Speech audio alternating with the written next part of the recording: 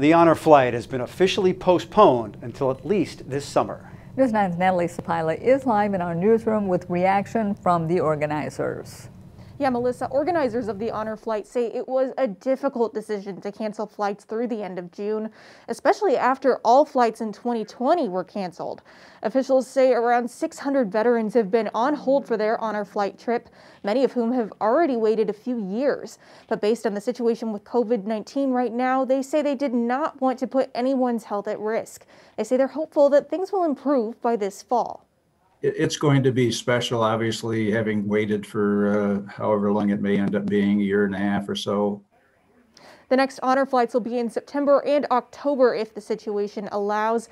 Veterans on the list for missions 39 and 40 will be on those fall flights. Live in the newsroom, I'm Natalie Sapila, News 9 WAOW.